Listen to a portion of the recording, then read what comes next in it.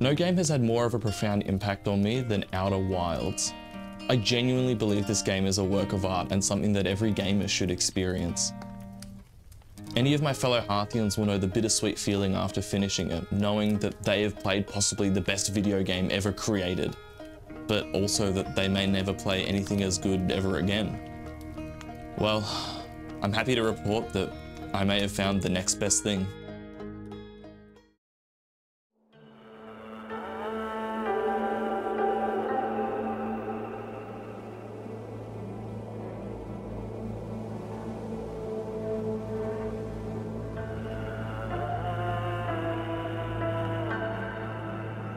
Pacific Drive is one of the best games I've played in years. It's only March and it's already a strong contender for my game of the year. The basic premise is you drive a beat up old station wagon through a nuclear exclusion zone, scavenging for resources that you use to maintain and upgrade your vehicle. This doesn't sound too similar at first, but the more I played, the more it became clear to me that this shares a lot of DNA with Outer Wilds. Whoa, whoa, whoa, whoa, whoa, hold up. This is a quick warning that while there won't be any major spoilers for Outer Wilds, I will be showing and talking about some of the gameplay aspects. And I know firsthand that this is a game that is best experienced without knowing anything about it. So if you haven't played Outer Wilds yet, uh, first of all, screw you, I'm jealous. But also, if you do intend to play it, then I strongly recommend you going and experiencing it on your own first, and then hopefully you'll come back and watch this video later. Okay, can we can we talk about the game now? We we we we are in the clear. Okay, sweet. In Outer Wilds, you're stuck in a time loop, and the main goal is figuring out how to get out of it. This gives the gameplay loop a sort of a run-based structure that you might see in roguelike games such as Hades or The Binding of Isaac. You have 22 minutes or less to explore as much as you can before the loop resets. Though instead of unlocking new characters or items, the meta progression this time around is knowledge. Instead of a time loop, Pacific Drive has what I like to call a space loop. You drive out as far as you can, and when your boot's filled with resources, or your bonnet's flown off and your engine's exposed, or you run out of petrol, you can call in a gateway that will teleport you back to the safety of your garage. And hey look, both loops even end with a bright light.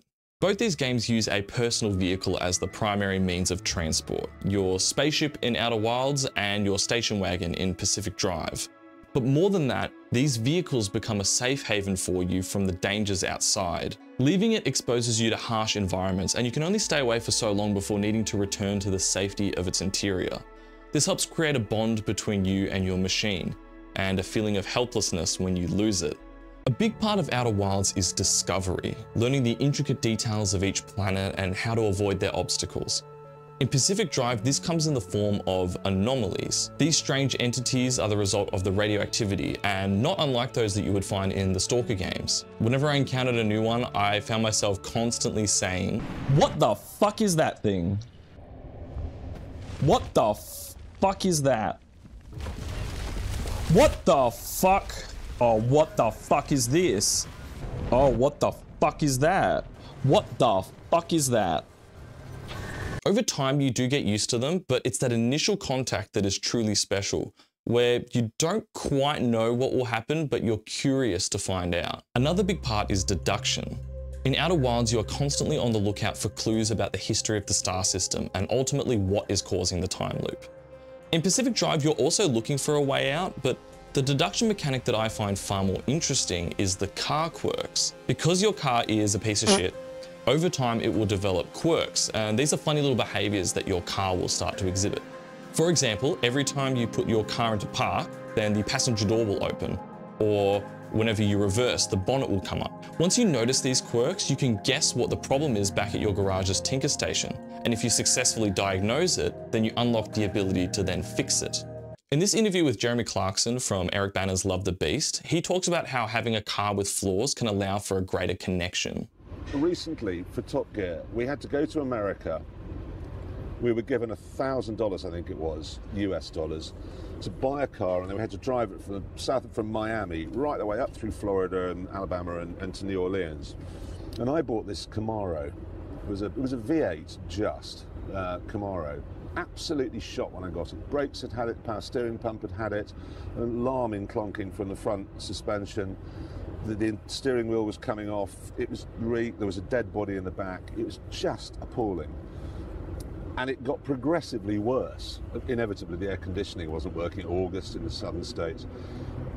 When I got to New Orleans, I loved that car more than I loved pretty much life itself.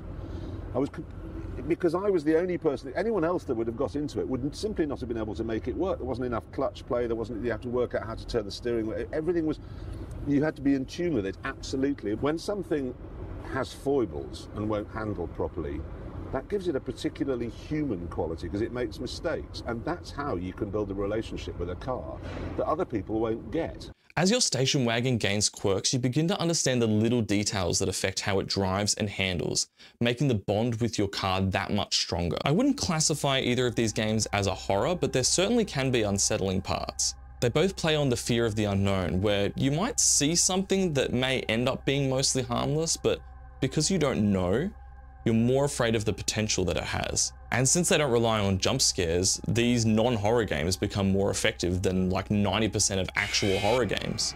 The setting for Pacific Drive is clearly based on the Pacific Northwest, specifically the Olympic Peninsula in Washington state.